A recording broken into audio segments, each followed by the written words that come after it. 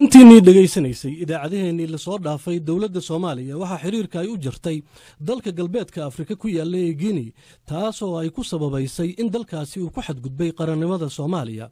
Arrintan ayaa waxa ay ku soo beegantay iyadoo maalmo yar ka hor ay ahayd markii madaxweynaha jamhuuriyadda iskeed ugu dhawaaqday madax bannaanida ee somalilan dalkaas lagu soo dhoweeyey. Dhanka kalena wasiirka arrimaha dibadda ee somalilan yaasiin maxamuud xiir faratoon oo ka tirsan wafdiga muuse biixi ee dalka ku sugan ayaa maruu b b c da la hadlay waxa uu sheegay inay ka xun yihiin jawaabtaas ama hadalkaas dowladda soomaaliya ay jeedisay ee xiriirka ay ugu jirtay guinea oo ay u arkaan mid socdaalkooda loola jeedo. Aan marka hore dhegaysanno warbixin si guud uga hadlaysa arrimaha ku gadaaman xiriirkan meeshii ugu hoosaysay gaaray oo uu noo diyaariyey wariyaheenna cabdinaasir saxansaxo barbilowgeenna maanta waa magaalada konaakari ee caasimadda dalka gini oo malaha ah meesha ugu dambaysa ee maankaaga ku soo dhici karta. Marka aad ka fikirto arrimaha dowladda federaalk soomaaliya iyo jamhuuriyadda iskeed ugu dhawaaqday madax bannaanida ee somalilan balse toddobaadkan dabridka diblomaasiyadeed wuxuu ahaa mid ay baaruudda tarag ku daartay dowladda gini kadib markii ay dalkeeda ku casuuntay madaxweynaha somalilan muuse biixi cabdi kaas oo loo soo dhoweeyey habmaamuuskii ugu sarreeyey ilaa heer diyaaradaha qumaatiga u kaca lagu gelbiyey wafdiga. Dowladda soomaaliya oo xaajadan ugubka ah ruugaysay muddo labaatan iyo afar saac ka badan ayaa shalay sheegtay in ay xakamaha u jartay xiriirkii kala dhexeeyey dowladda gini waaba haddii uu jiraye oo xiriir ah markii wariyaha b b c da ee muqdisho beella sheegow ay wasiirka arrimaha dibadda axmed ciise cawad weydiisay. Waxa uu ahaa xiriirka la jaray. Jawaabta wasiirka ma ahayn mid uu la soo daahay. May safaarada iskuma lihin islaafsanay laakiin waa dal qaaradda afrika ka mid ah oo xiriir aanu lahayn. Inkastoo aan safaarada joogin dalal badanoo waxaa jira aanu xiriirra leenahay inkastoo aan maaragtay diplomatic representation ama safaarado aysan joogin dalka waa howraarsan iyo hagaag balse halkaasi kuma eka guuxa ay dadweynuhu ka dhexdhalisay arrintan. Somalilan lafteeda ayay yaab iyo dhabanhays ku noqotay tallaabada federaalka wuxuuna wasiirka arrimaha dibadda yaasiin maxamuud xiir faratoon isweydiinayaa waxa tukaha cambaartale ka dhigay gini iyada oo la og yahay dalal sidan oo kale horay u martisooray madaxweynaha somalilan. Haddaan tusaale u soo qaato inta dal soomaliya waxaad moodaa maanta inay ku hambabartay intii hore aanay waxba dee aanay iminka una hambabartay dalalka madaxweynayaasha somalilan tageen ee lagu soo dhoweeyey. Haddaan tusaale idinka soo qaato waxaa ka mid a dalka ethoobiya jabuuti afrika keliya ethoobiya jabuuti senegal south africa kenya uganda tanzania malawi. Meel walba madaxweynayaasha somalilan intii ay u baahaneen weli dal is hortaagay ama yidhi noo imaan maysaan ama aan maqaamkay lahaayeen ku soo dhoweyn lama arag haddii ay cilaaqaadka u gooyaan dalalka somalilan way tegaysaa dalal badan bay tegaysaa dalal badan bay somalilan tegaysaa la xidhiidhaysaa cilaaqaad la yeelanaysaa ha ka tashato inay ka goosanayso soomaaliya. Kii somalilan tagtaba inay ka goosanayso dalalkani waxaa ka mid ah kuwa dariska la ah soomaaliya sida dowladda kenya oo kale taas oo ay warmaha isu looshanayaan dowladda federaalka ah arrimo la xidhiira muranka dhulbadeedka. Sidaasi oo ay tahay wasiir axmed ciise waa uu u qildayayaa kenya wuxuuna yidhi. Waa su'aal fiican. Kenya waa nooga duwan tahay gini xiriiro badan baa naga dhexeeyey. Wax isdhaafsi badan baa naga dhexeeyey. Marka malaha sabir dheeraada ayaan u muujinay kenya. Xiriirkan iyagu heer ku ahaa iyo darisnimada naga dhexaysa daraaddeed inkasta oo suuljaawinta federaalka ay dad badani u turjumanayaan in ay soo dhammaatay seetadheerayntii horey u jirtay. Haddana dad badan ayaa u arka in waxa dhacaya ay fursad u yihiin somalilan sida ay qabto sucaad carmiye oo u ololaysa aqoonsiraadiska somalilan walaahi horta mid baan ogahay anagu haddaan nahay reer somalilan dowladda soomaaliya imika ka jirta. Dadkayga qaar waxaaba u yaqaanaan diiriye waayo waxaad moodaysa muddo badan inaan isdhiganay haddaan nahay reer somalilan marka dagaalada go'doomiska ah ee xag dhaqaaliga xag siyaasadeed ah ee dowladdaasi wado waa mid anaga dan noo ah haddaan nahay reer somalilan oo fadhigan ka kacaynaa. Waxay u eg tahay in la marayo marxaladihii ay soomaalidii hore ku halqabsan jirtay. Maxay ka nuugtaa? Maxayse ku nuugtaa dowladda federaalkane waxay u muuqataa mid boolalka ku sii dhuujinaysa cadaadiska la saaraya somalilan bishii hore.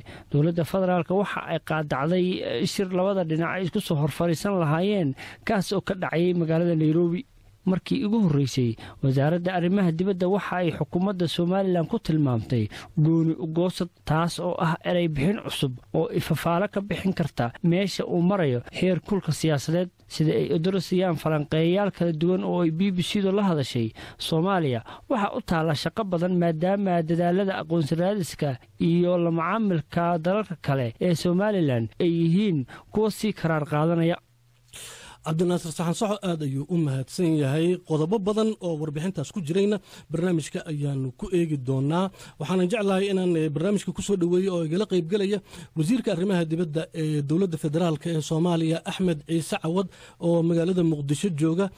Waxaa kale oo isna magaalada hargeysa khadka telefoonka kaga jira saleebaan yuusuf cali koore oo ah wasiirka horumarinta biyaha ee somalilan. Waxaa isna khadka telefoonka ku jira maxamed nuur caalin oo falanqeeya arrimaha geeska afrika isla markaana ah diblomaasi hore dhammaantiinba barnaamijka ku soo dhowaada su'aasha ugu horreysa waxaan jeclahay inaan ku bilaabo wasiir axmed ciise cawad. Wasiir waxaa la isweydiinayaa sababta dowladda soomaaliya isla markiiba ay xukuumadda waddanka guinea ay u tiri waxaanu kala laabanaynaa cilaaqaadkii diblomaasiyadeed iyadoo wufuudda somalilan ay hore u tegi jireen waddamada aan warbixinta ku maqalnay sida etoobiya iyo kenya iyo jabuuti iyo imaaraadka. Maxaa uga carooteen waddanka guinea. Waa mahadsan tahay waa su'aal fiican. Horta dalalka madaxa bannaan go'aankooda markay qaadanayaan iyo iyo qoladay ka qaadanayaan iyaga xor ah. Marka dalalku iyagaa yaqaana xiriirka ay laleeyihiin dalalka iyo mid walba xiriirkiisu intuu qodan yahay dalalka kale oo aad tirinaysid waa dalal soomaaliya xiriir joogtaa lale mujtamaca soomaaliyeed aada isugu dhow yihiin kuwa waa daris oo soomaalida oo dhan bay la macaamiltamaan kuwa dalal kaloo soomaali badan joogto. Dalka guinea waa dal naga fog. Waa dal aan xiriirkaas oo kaleeto ama etoobiya iyo kenya la leenahay oo kaleeto iyo maraadkii aanaan lalahay marka waxaanu kaloo ognahay siyaabaha ay ku timid maaragtay ixtiraam dareyntan qarannimada soomaaliyeed inta badan nastageli nastagelinta heerka sare ah waxaa la siiyaa madaxda dal la aqoonsan yahay marka gobol ka mid ah gobollada soomaaliya oo khilaafka soomaalida udhexeeya qorab ha ahaadee laakiin dowladda soomaaliya saa u aqoonsan tahay haddii dal u aqoonsado kula dhaqmo sidii dal madax banaan xaq ayaanu u leenahay. Waxaanan u aragnay inay muhiim tahay inaanu qarannimada soomaaliya wadajirka ummadda soomaaliyeed iyo wadajirka dhulkayga aanu ilaashano annaga iyo walaalaha iyaga waqooyiga soomaaliya waxaan u baahan nahay in adduunku waktina siiyo anagu wixii khilaafyo jira aanu ku xalisano laakiin dal afrikaan isaga naftiisa tabar daran dhibkiisa inuu maaragtay na ixtiraam dareeyo ma aha waxaanu yeeli karo waaya waa mahadsan tahay wasiir. Waxaan rabaa halkaas inaan su'aal kaasii weydiiyo. Waxaad tiri gobol ka mid ah waddankeenna waraaqdii aada soo saarteenna waxaa ku qornaa separatistis oo ah gooni u goosato. Marka haddii waxyaabahaas la isku qabto iyo shirkii dhawaaye nairobi ee dowladda soomaaliya aanay ka soo qeyb gelin ma waxa weeye somalilan iyo dadkeeda iyo maamulka ka jira innaba in aysan aqoonsanayn wax macaamilana aysan la samayn doonin. Gini haddiiba aan ka nimaadno waa waa cajiib inaad su'aashaa weydiinaysaa loo wariye soomaaliyeeda yani waad og tahay kastoo soomaaliya u og yahay in dawladda soomaaliyeed aysan aqoonsanayn somaliland inay tahay dowlad madax banaan the way soomaalidu kelmadaha ay ku hadlayso uma fiirsato. Hadda waryihii waryihiidii hadda warka riboortka sheegayey wuxuu ku sheegay somaliland jamhuuriyadda. Marka inagii oo dhan baa waxayna ka qasan maaragtay fahamka diblomaasiyadda iyo iyo luqadda siyaadaba waxaan arkaya kuwo kale oo wasiire ahaan jira oo madax ahaan jira hadda lagu soo dirayay oo oo ka hadlayay diblomaasiya aysan waxba ka aqoonin. Marka bani aadamku waxaa fiican wuxuu yaqaana inuu ka hadlay ay ka mid yihiin wariyaashiina. Oo kelmadaha ay ku hadlayaan ila kelmaduhu wax la isku fahmo macnay leeyihiin marka somaliland annaga waxaan u aragnaa inay yihiin dad soomaaliyeed oo maxaa la yidhaahdaa iyagu dee maaragtay xaq u leh inay dalbadaan si ay u arkaan in danta dadkaa ku leedahay. Annaguna waa ixtiraameynaa wararka meelaha la marinayo leeya soomaaliya somaliland godoomidanaysana ma aha. Wax aada baan u nahay in somaliland horumar iyo amni iyo dhaqaale iyo kheyr ka jiro. Laakiinse inta dadka soomaaliyeed ay danahooda ayagoo ka tashanayaan midnimadooda iyo wixii la xiriira dal kaleeto oo dibadii xaq uma laha inuu farageliyo soomaaliya waxaa loo arkaa dal mid ah resolutionada adduunka oo dhan international organizationska xubnaha ka nahay sida u n ta au-da jaamacadda carabta ururka islaamka. Iga kulli waxay aqoonsan yihiin soomaaliya inay tahay dal mid ah macneedu maaha inaan inaan aysan jirin khilaaf u baahan in la dhamaystiro marka arrimahaasi waa arrimahaasi waa bedihi waxay ahayd adiga iyo qofkii kaleeto oo arrimaha soomaaliya ka waxyaabay inuu og yahay wasiir waa mahadsan tahay waa kugu soo noqon doonaa su'aalo kalena oo ku saabsan arrintanna waa sii wadi doonaa wasiir saleebaan koore dhinaciina somalilan maxaa adinka idinka khuseeya soomaaliya oo xiriirka u jiraysa geni bismi illaahi raxmaan iraxiim marka ugu horeysa runtii dhammaan dadweynaha na dhegeysanaya meel kastay joogaanba waa salaamaya marka labaad waxaan leeyahay dalkan jamhuuriyadda somalilan ee aan anigu wasiirka ka ahay waa dal taariikh ku leh. Soo jireenkii labadii boqol oo sannadood oo ugu dambeysay taariikhda casrigaa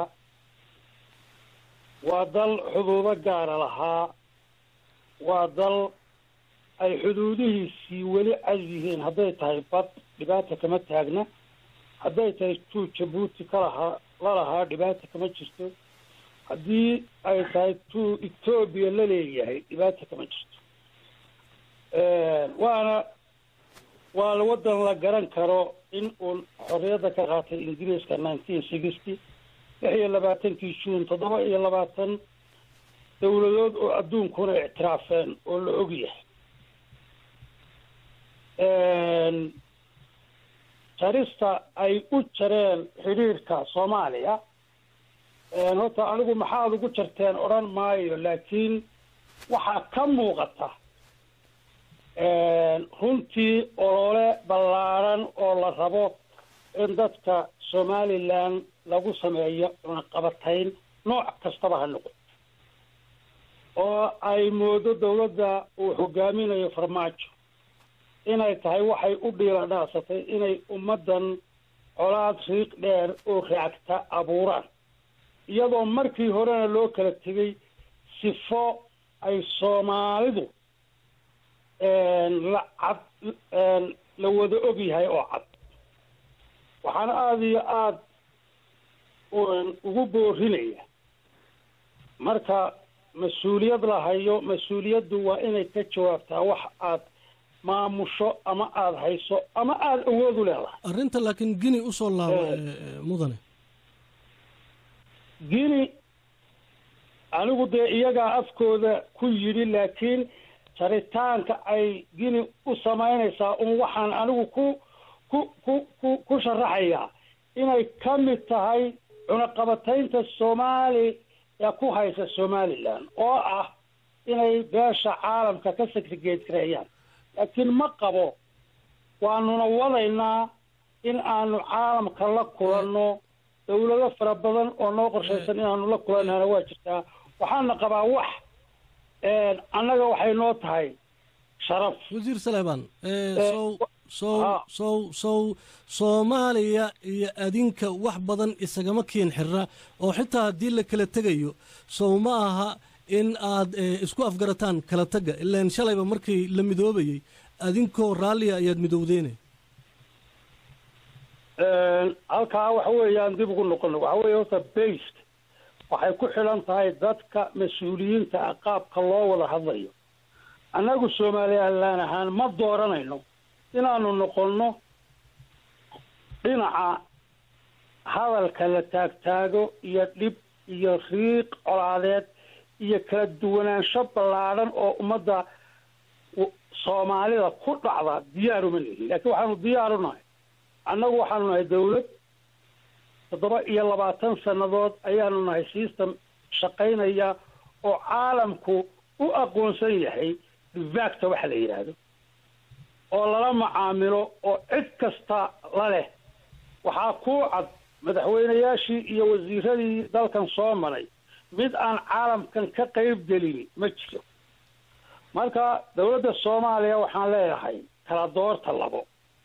Inay colaada kii dadkani hore ugu go-a inaad wadaan iyo inaynu noqono dad laba dawladood oo wada hadla oo miis isugu yimaada oo waxa ay qabaan ka wada hadla oo danahooda ka wada hadla oo cid waliba waxa ay qabto soo dhigto miiska laakiin aan lagu tartamin xiqdiga iyo xasadka iyo xumaynta.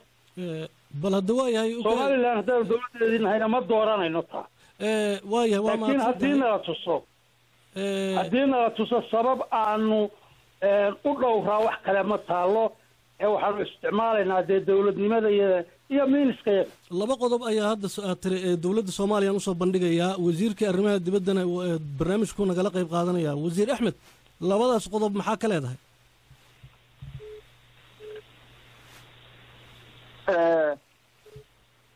Horta wasiirka waxaan u sheegayaa iyo ummadda soomaaliyeed iyo ummadda soomaaliyeed ee ku nool maaragtay somaliland.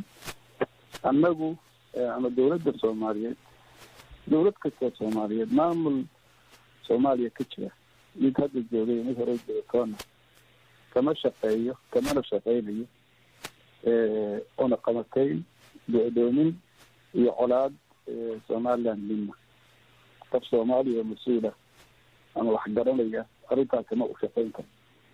Haddii uu wasiirku taas uu ka wado inaysan soomaaliya ogolaanayn aysan ogolayn in qarannimada midnimada iyo wadajirka ummadda soomaaliyeed oo iyaga soomaalida keliya ay ka tashan karaan uusan dal kale inuu dal kale ka taliya haddii aan xukuumadda soomaaliya aysan ogolaanaynin hadduu ka wado colaad iyo gudoomin hadee waa waa meesheeda wasiirku waa ogyahay ana waa ogyahay idinkuna waa ogtihiin inaan somaliland loo aqoonsanayn inay ka go- ka goosan ka go'day soomaaliya marka aniga hadda mar dhaweyd resolutionada adduunka go'aamada adduunka qaraarada adduunka tilmaamaya marka ummadda soomaaliyeed ama xukuumad kastoo soomaaliyeed oo soo marta dalka waxaa mas'uuliyad ka saaran tahay ilaalinta xuduudaha midnimada dadkeeda qarannimadeeda iyo madax banaanideeda siyaasadeed taas way kaan sameynayna yaan la isku khaldin marka doodu ha joogto meesha ay joogto.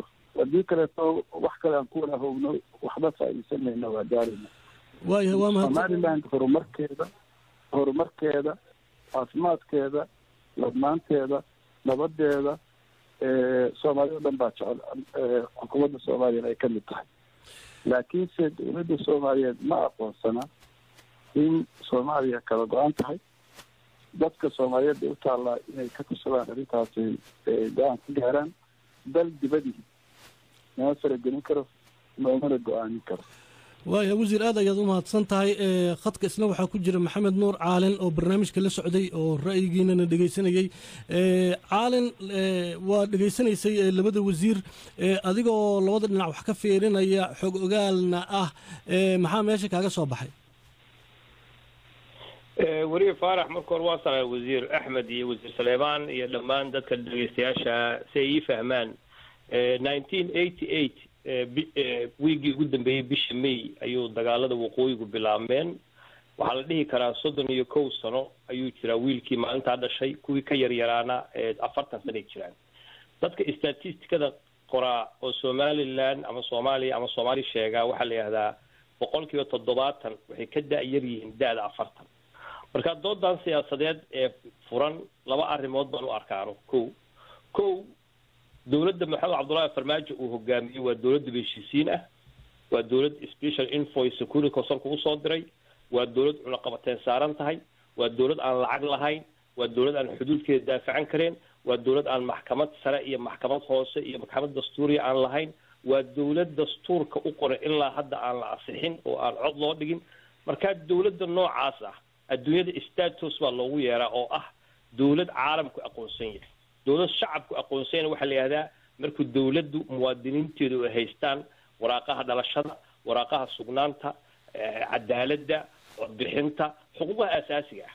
Markaa soomaaliya dood baa ka furan kuna dheeraan maayo. Doodana waxay u taallaa dadka soomaaliyeed ba u taallaa shacabka reer somaliland horumar badan bay gaareen. Soddonkii sane ugu dambeeyey iyaguna way is ammaan geliyeen kooxaha argixisada kama jiraan systemka biyaha u shaqeeya systemka waddooyinka u shaqeeya.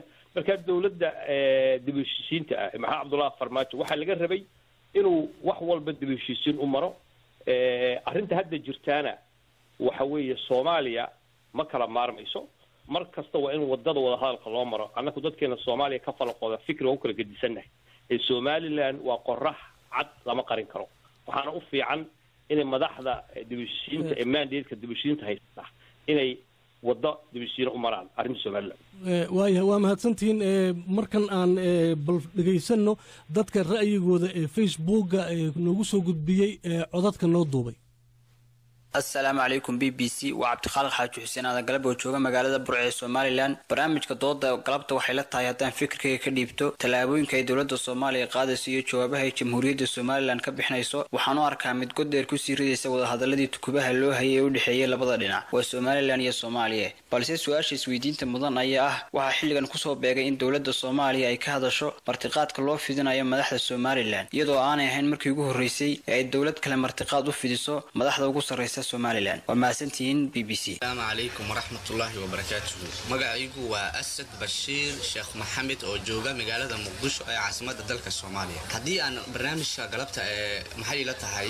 aan fakirkayga ka dhiibto soomaaliya oo xiriirka u jirtay wadanka guinea ee caasimadiisa ay tahay conakry anigu waxaan qabaa in go'aankaasi uu yahay go'aan lagu degdegay oo aanan ahayn mid macquul ah. Sababtoo ah soomaaliya markii horeba lama lahayn xiriir diblomaasi wadankaasi geni. Wax ay xiriir uga jarata oo maxaa dhihi jiri soomaaliya ay hadeertaan ku dhawaaqdo in geni ay xiriirka u jartana meesha maba taalo sababtoo ah wadan markii aad adiga diblomaasi xiriir aad kala dhexeeyo oo aad xiriir leedihiin ayaa la dhihi karaa waa laga jaran karaa xiriirka.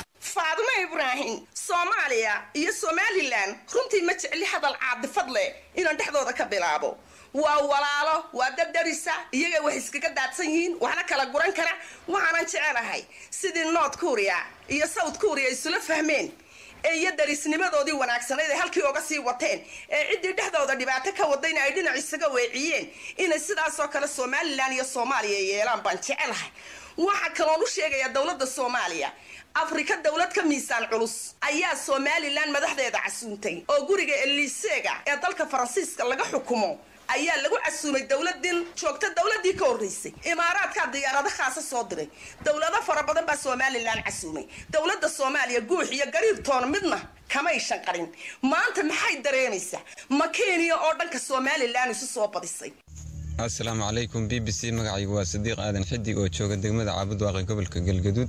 Haddii aan ra'yi ka dhigto barnaamijka dooda galabta ee jimcaha runtii somalilan iyo soomaaliya midkoodna ma hayo waddadii saxda ahayd oo ku habbooneyd inuu maro waayo soomaaliyana somalilan waxaa la rabay sasabnaasho iyo inay maaragtay sidii ku soo coshan lahayd ay ka shaqaysay iyo wadahadal iyo waxay tabanayso oo laga shaafiyo. Somalilan haddii aqoonsi doonaysa waxay soomaaliya kaga xiran tahay inay isku hawsho sidii soomaaliya ay u saban lahaydoo ay uga dhaadhicin lahayd gooniystaageeda iyo walaaltinimo iyo hadal wanaagsan.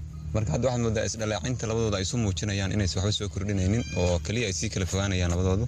Shacabka soomaaliyeedna waxaas aysan dhawahooda u wanaagsanayn waa hagaag kuwaasi waxay ahaayeen qaar ka mid ah dadkii ra'yigooda facebookga noogu soo duubay. Dib aan ugu laabto wasiirada iyo caalin caalin haddii aan adiga markaan kaa bilaabo ninkii ugu dambeeyey ra'yigiisa soo jeediyey waxa uu lahaa labada dhinacba midkoodna ma hayo waddadii saxda ahayd waxa uu doonayo uu u mari lahaa. Arintaas ma la qabtaa waxa weeye marka hore dadka arrimaha soomaaliya ka falaqooda ama akademikada iyo dadka siyaasiyiinta ah waa ku kala gedisannahay fikirka loo marayo. Ee fikirka saxda waxa weeye dunida casriga ah waxyaalaha xasaasiga oo dhan waa la qariyaa xasaasiga waxaa ka mid ah qaabka hadda ay xasan sheekh maxamed ula dhiilgareeyey in waxyaalaha humanitariumka somaliland loo ogolaado oo suuqa horumar sanduuqa horumarinta somaliland la siiyo arrimaha mashaariicda loo ogolaado biyogelinta loo ogolaado wixii oo madaxweynihii uu si hoose kor ka soo qaadanayo. Marka annaku haddaan dadka soomaaliya ka falaqooda waxaan leenahay war waxna yaan la qarin dad badan oo soomaaliyeed oo waxaa jira aqoon u leh oo dadka soomaaliyeed academic ah oo madax banaan madaxweyne hore cali mahdi baa ka mid a jawaari baa ka mid a jaamac yaraa ka mid a cismaan kalluun baa ka mid a. Dadkaas way ka qayb qaadan karaan inay isku soo dhaweeyaan dadka soomaaliyeed oo fikirka la soo dhameeyo somaliland majoritygoodu way og yihiin in marxaladda aqoonsigu adag tahay. Marka soomaalida kalena way og yihiin in dadka somaliland ay awood badan iyo maamulkooda uu wax badan sameeyey marka waa in la keena wax labadaba qancin kara labada bulsho waxa wax qancin kara. Ma caasimada ma lagu heshiiyaa ma heshiise kalaa jira. Adduunyada janaalka wada hadalladu ma aha xiriirka waddankaasaan u jira iyo kan baan u jira marka waxaan aaminsanay anugu arrintan waa in wax laga bartaa. Arrintii shalay dhacday may fiicneen waa in wax laga bartaa. Waayahay waa mahadsan tahay wasiir axmed ciise cawad arrintan xukuumaddiina ka hor waa ay soo jiitamaysay wadahadallada soomaaliya iyo somalilan oo hadba marxalad soo marayey maxaa hortaagan in aad ishor fadhiisataan? Maxaa laidinkugu dab maxaa laidinkaga kala dabqaadayaa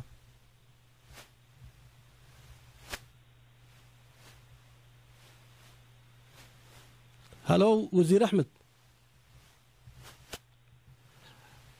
waayahay wasiir saleebaan haddii aan isla su'aashaas ku weydiiyo maxaa hortaagan intaasoo shir ayaad isugu timaadeen dhinaca soomaaliya? Maxaa hortaagan in aad ishor fadhiisataan iyadoo aanay cidina idinku dhex jirin?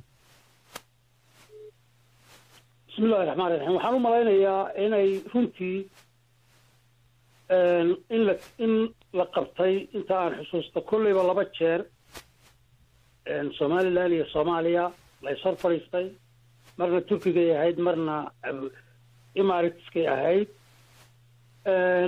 Waxaa ka muuqatay humanitarianka iyo waxyaalaha in ay ka wada shaqeeyaan mooye inaan qodobadii masiiriga ahaa loo gudbin. Taas waxaa u sababa inaan loo gudbin sidaa uu hadda de wasiirka arrimaha dibadda soomaaliya u hadlayo saaxiibkay wuxuu leeyahay waxay qabaan in dalka somalilan dal soomaaliya ka qayba uu yahay.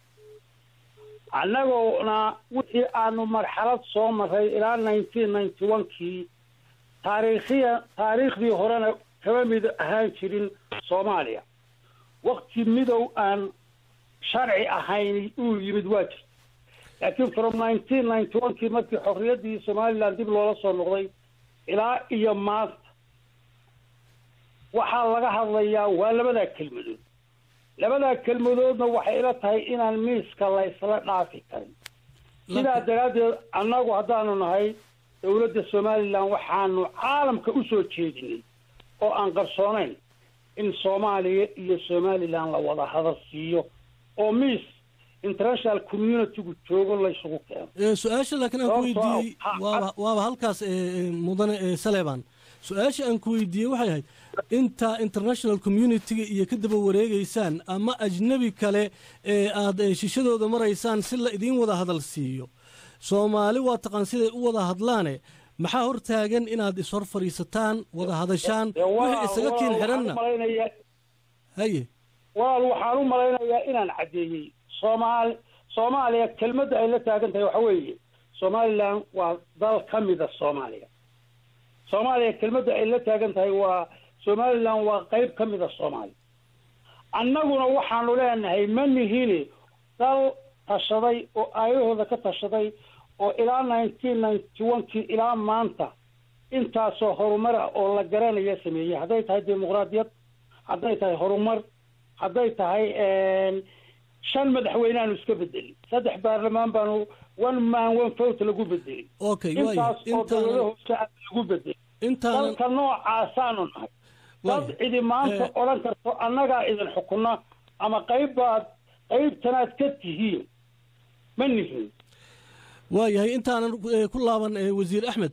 Eh, weli horta ma la ogyahay intaad ishor fadhiisateen qaabkii loo kala bixi lahaa ilan markii hore markii la isku biirayey qaabkii la isugu biirayey waa la ogaa qaabkii loo kala bixi lahaa xitaa haddii la doonayo ma laga wada hadlay.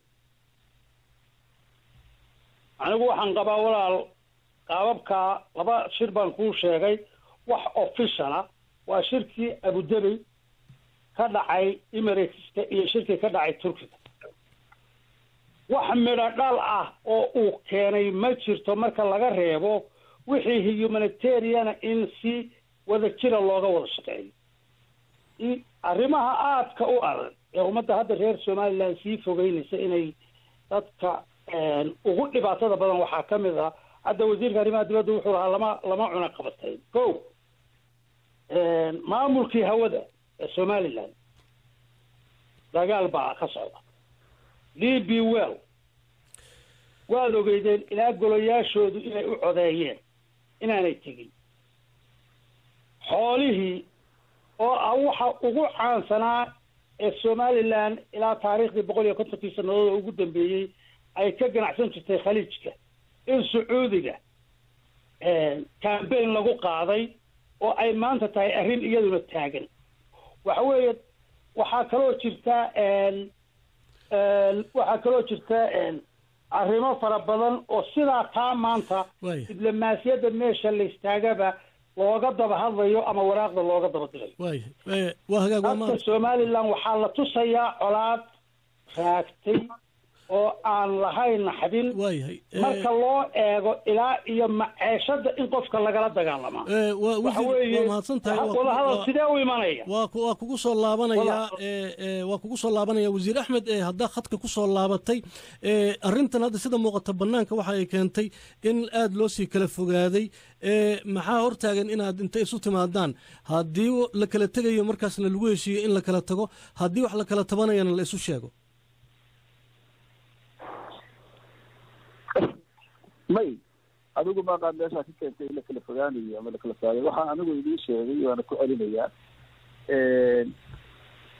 Horta dooda waxay joogtay maxaa xiriirka ugu geyseen maxaa la yihahdaa gini waana kuu sheegay dal qarannimadooda iyo midnimadooda ilaashanayaana nahay somaliland sida uu wasiirku sheegay wax la ogyahaa jira jidra maaqaan safiirkana say uga uga hoos baxday waxyaabo kaleeto iyo biyaa biyay leedahay iyo waxaasu ka hadlayay iyo dawlad heshiisiin iyo waxaas.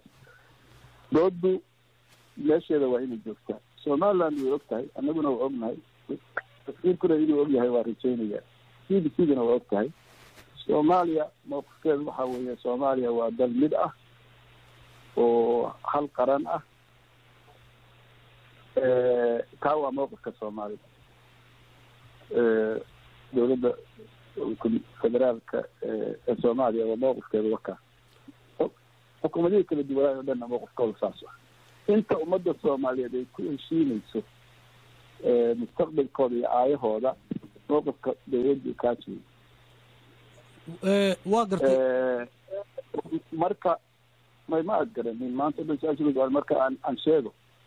Somalilandna wasiirka naftiisaa tiray waxay rabaan iyaguna somaliland waxay leedahay anagu waa goosanay marka de anagu goosashada dawladda soomaaliya ummadda soomaaliyeed doonteedu raalli kama aha dadka somaliland dhulka loo yaqaano joogo oo dhan baan xataa raalli ka wada ahayn marka taa waa dood ummadda soomaaliyeed u taalla in the meantime inta arrintaas socoto dawladda soomaaliyeed qarannimadeeda iyo midnimadeeda iyo wadajirka dadkeeda way ilaashanaysaa wixii kaleeto oo waxaa laga hadlay madaxweyneyaal la soo doortay oo tiro badan iyo biyo jira soomaaliya meelo badan oo ka mid ah soomaaliyada kaleeto oo uu ka hadlayay masalan sida oo biyo ka jiraan baa jirta ama maaragtay madaxweyneyaal wasiirkuna inaan ku sheegnaan rabnaa gobollo kaleo soomaaliya oo shan madaxweyne iyada isbedeshay baa jira. Taas maaha qiyaas qiyaas waxa weeye soomaaliya ma hal dal baa mise somaliland waa waa dal gaara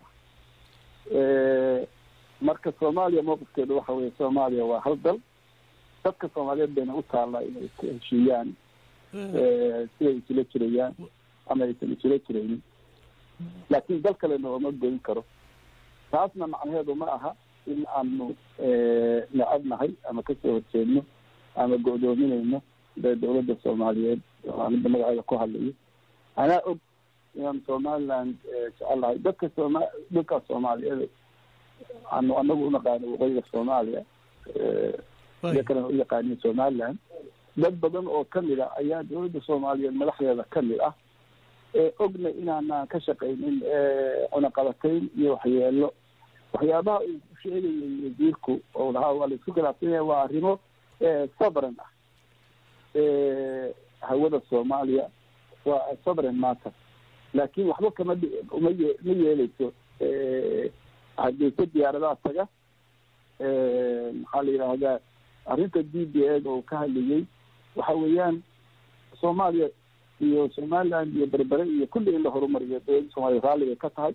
Laakiin dal ajnabigi contractiyo iskama samaysan karo aysan dawlad soomaaliyeed. Waxay meel uga dhac meel ka dhac ku tahay qarannimada soomaaliyeed. Ayay meel ka dhac ku tahay. Marka arrintan kaleeto ah maxaa la yidhahdaa sacuudiga ajojiya iyaduna waa arrin la xiriirta qarannimada soomaaliyeed laakiin wax u dhimaya ma aha in somaliland xoola ka tagaan oo ay tagaan. Waxaan ku waxaan caddaynayaa in aan xukuumadda soomaaliyeed aysan dib u wadin dadka soomaaliyeed meelay joogaan bay ka mid yihiin dadka soomaaliyeed somaliland jooga. Arrinta ah qarannimada soomaaliyeed taas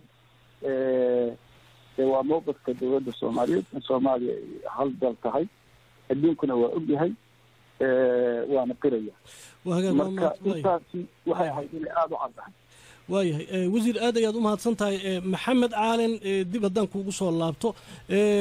Wasiirka hadalkiisa waxaa muuqata in uu leeyahay hadda wax walba waxa weeyaan waxaa laga fiirinaya dhinaca qarannimada iyo maxaan ku idhaahdaa territorial integrityga ama dhulka soomaaliya madax banaanida soomaaliya.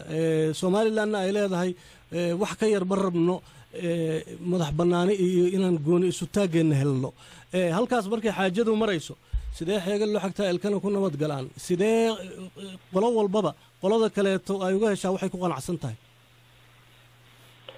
Marka weliya faarax walaal dadku dhegeysa ii fahmaan dadka arrimaha falanqeeya adduunyada dood siyaasadeed baa socda. Ruushka intuu cararay jasiirad ee leen ukrain iska qaatay.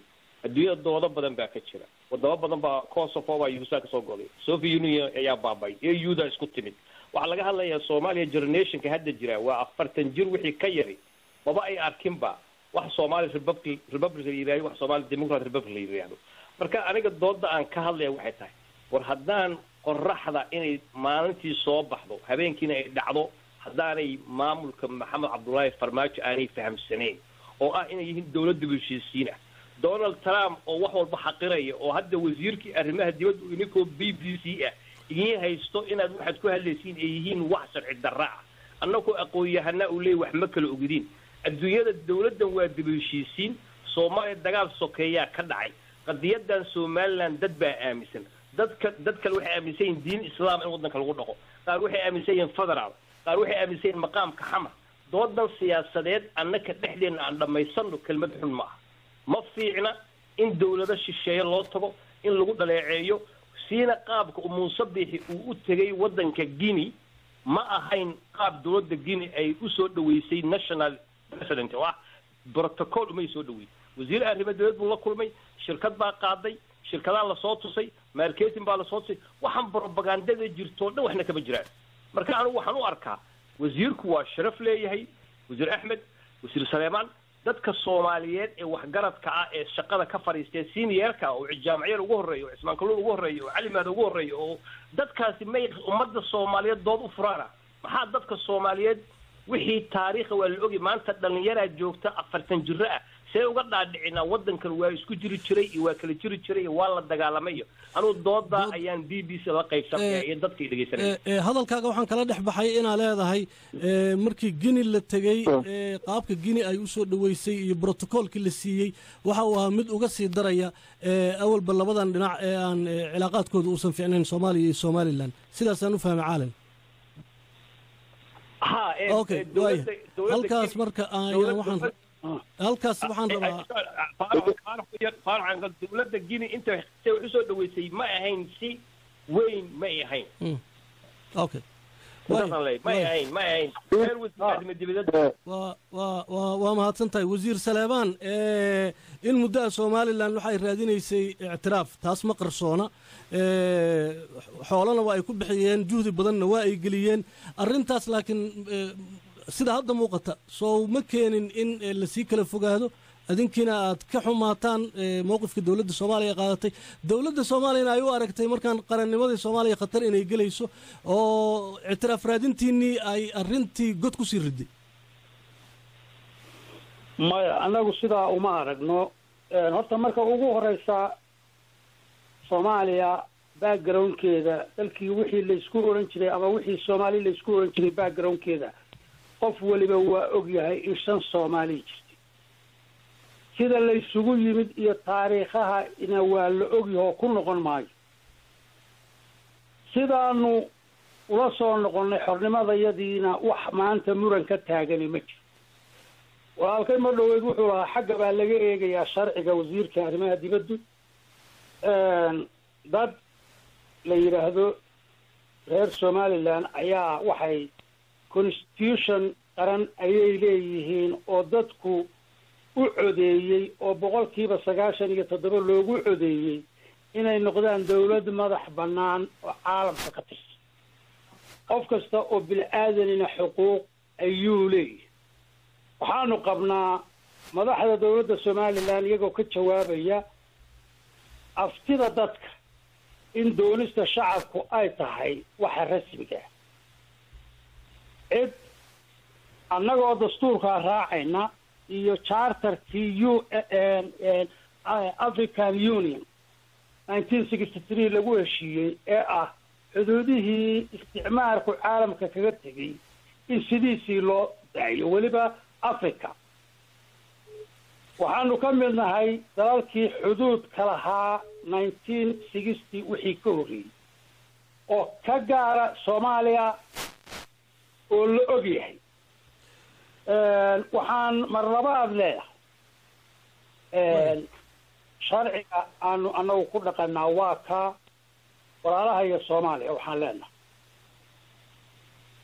Soomaalidu jabuuti joogtaa waa walaalaha soomaali. Wax badan ayay u tartaa dadka soomaalida. Ah kuwa kilinka shanaad joogaa wax badan ayay u taraan soomaalinimada. Kuwa jooga kenya waa la mid. Walaalahayo waxaan leenahay. Dadkan somalilan wuu tashaday. Sida uu u tashadayna waa wax cad oo aad qof kasta oo maanta nooli og yahay.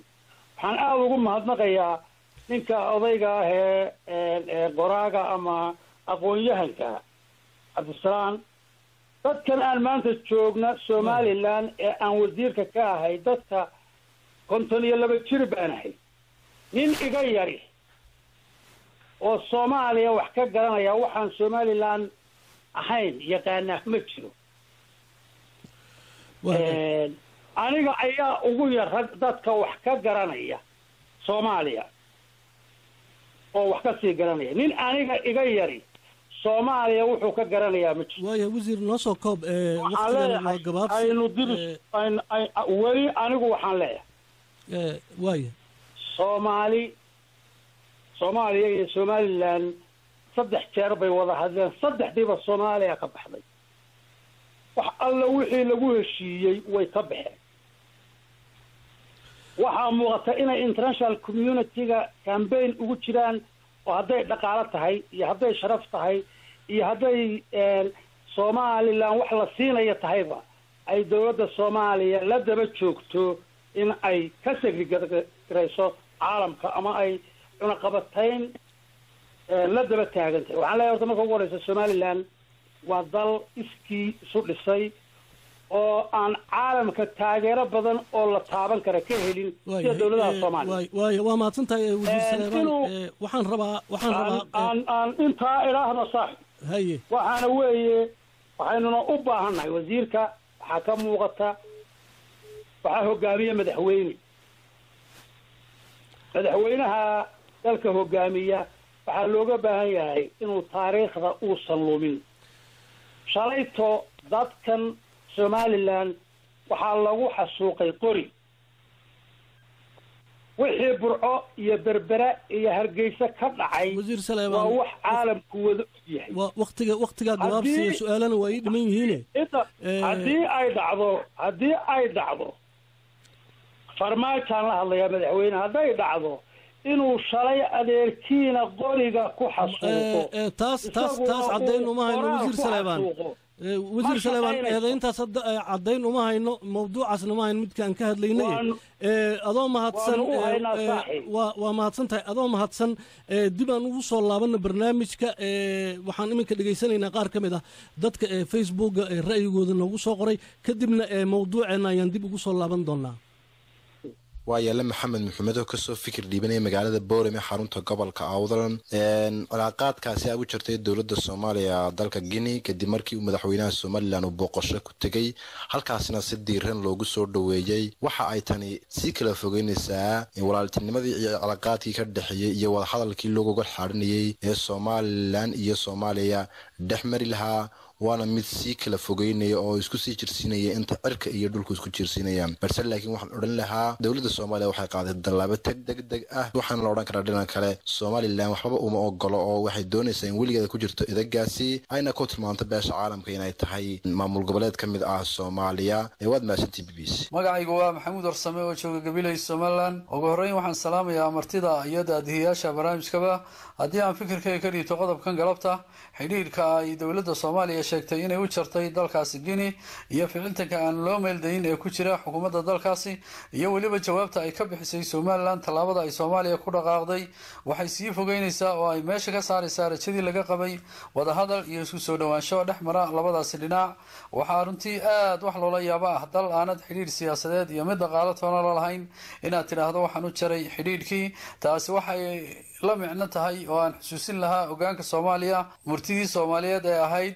Haddii aad doonayso inaad riyooto waxaa ka horeysa inaad seexato. Aad baad u mahadsantihiin b b c soomaaliya. Abdiraxmaan xaaji daahir jooga degmada cali xayl oo ka tirsan gobolka awdal een soomaaliya inay xidhiidhka u jarto guinea. Een kadib markii ay booqdeen wafdi uu hogaaminaya madaxweynaha somalilan oo halkaas lagu soo dhoweeyey dee soo dhoweyntii ugu horeysay ee wafdi somalilan dal lagu soo dhoweeye maahee maxay soomaaliya ka diday? Maxaase keenay guinea in ahmiyad aan waddamada kale lahayn la siiyo? Taasi waa su'aashayda koowaad. Su'aashayda labaad waxay tahay wafdiyo fara badan oo madaxdii kala duwaneyd ee somalilan soo martay baa caalamka ku wareegaye ma aqoonsi ayna dunida kale ka soo hoynin baa gini ku duuganoo sidaas ayay soomaaliyana uga diday. Su'aashayda saddexaad waxay tahay wadahadalada somalilan iyo soomaaliya oo inta badan noqda geedkaga koc iyo golo aan waxba ka soo bixin iyaduna xidhiidhka gini iyo somalilan ma dhaawici doonaa. Waa hagaaga kuwaasna waxay ahaayeen qaar ka mid a dadkii ra'yigooda facebooka noogu soo duubay. Qodobkaas ayaan rabaa ee barnaamijka qaybihiisa dambe inaan wax iska weydiinno ku saabsan wadahadalada ee somalilan iyo soomaaliya. Wasiir axmed ciise cawad ee somalilan ee sida wasiirku uu sheegayo iminka waxa uu leeyahay kulamadii hore waayahay barnaamijka shan daqiiqa ka dhiman wasiir iina soo koob waxaa dhihi lahayd su'aashayda laakiin waxay tahay ma jirtaa fursad wadahadallada ay ku soo laaban karaan? Arabin hal kelmad dhaho safiirka hal kelmadna dhaho wasiirka. Kelmadan safiirka dhahayo waa safiir qadarin iyo islaam oo dhan waa kuu hayaa waxaa tirina waa kugu raacsanayaa soomaalidu inay heshiiyaan oo isla hadlaan laakiin maanta mawduucu wuxuu ahaa waxaan kaloo ku aynu ka doodi karaa inkastoo waktiga sii gabagaboobayo soo dhaweyntii xagga maxaa la yihahdaa waxay ahayd annagu waxaan u aragnay inay ahayd mid aan habboonayn waanuna waanuna ka jawaabnay laakiin waa kugu raacsanaya soomaaliya inay tahay in maxaa la yihahda wada hadasho. Waana waxaan ugu yeerayno. Arrinta somaliland adiga wasiirkada somaliland horta definitionkeeda iyo waxa ay tahay iyo ma rabin inaan dooda galo laakiin idinkaa ku celceliyey somaliland waxay ka kooban tahay gobollo. Dad badan oo sida gobollada sool iyo sanaag degan badankoodu ma ogola inay soomaaliya kala go'do in badan oo degan awdal ma ogola inay soomaaliya kala go'do in badan oo hargeysiya burco degan iyo eregaabo may ogola soomaalida inay kala go'do marka horta somaliland markaynu leenahay iyo inaan iska sameyna assumption ah wasiirka dhahayay waxaan leeyahay diplomatka wuxuu ku celceliyey ama safiirka wuxuu ku celceliyey farax maaragtay soo baxday iyo dhalinyaro ilaa iyo afartankii noolaa iyo waxaan leeyahay afartan sano jira soomaaliya ma yaqaanin dhulka somaliland hadda safiirku siduu ufahamsan yahay uu ku sheegayo maxaa la yihahdaa safir in badan oo kamida baan anigu aqaanaa oo degan laascaano iyo maaragtay waqtigaa gabaabsi wasiir aada u soo koob. buuhoodle oo afartan sano ka yarba jooga oo soomaaliya midnimadeeda aaminsan kuwo kale oo odal jooga badanna waa aqaanaa oo ogol soomaaliya midnimadeeda iyo kuwo badan oo barco jooga. Marka doodahaasi waxay u taallaa soomaalida waa inay meel fadhiistaan. Laakiin hadda waxaa isla fadhiistaan iyagu doodaan wasiirka waxaan ku leeyahay wasiir waa ku ixtiraameynaa waa walaal fiican baa tahay. Somaliland ilaahay ha u ziyaadiyo khayrka iyo barwaaqada. Wadaqabatayna kuma hayno colaadna uma soo wadno. Madaxweynuhuna colaad uma soo wado. Waxaanse kuu sheegayaa inaan soomaaliya ogolayn in soomaaliya ay kala go'do mowqifka iyaga waa kaas. Marka haddii aad cambaign ka wadid gobollada in adduunka in somaliland la aqoonsado taas hadda waa waa ka hortegaynaa haddii se aad rabtid in ummadda somaliland ay horumar gaarto oo ay nabad iyo xasilooni iyo wanaag ku noolaato waa soo dhaweyneynaa inaynu inagu wada hadalno oo aynu waxaynu isku raacno aynu ku heshiino oo aynu ku maaragtay ku noolaano adduunka o dhan baaba isu imaanaya tahay.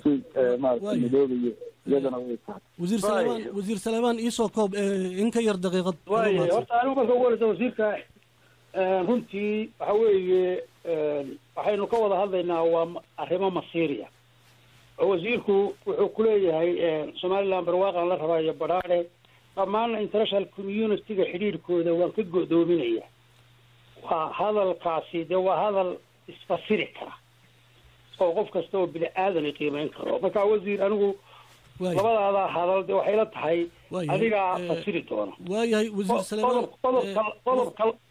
qodobka labaadaan leedahay waxa weeye wasiir saleebaan watigaa waktigaa dhammaaday waa mahadsan tahay wasiir saleebaan cali koore iyo wasiir axmed ciise cawad aad ayay u mahadsan yihiin sidoo kale maxamed nuur caalin ayaa isna barnaamijka ka qayb galay oo ah diblomaasi islamarkaana arrimaha soomaaliya iyo gobolka ka faallooda barnaamijkiina galabtay.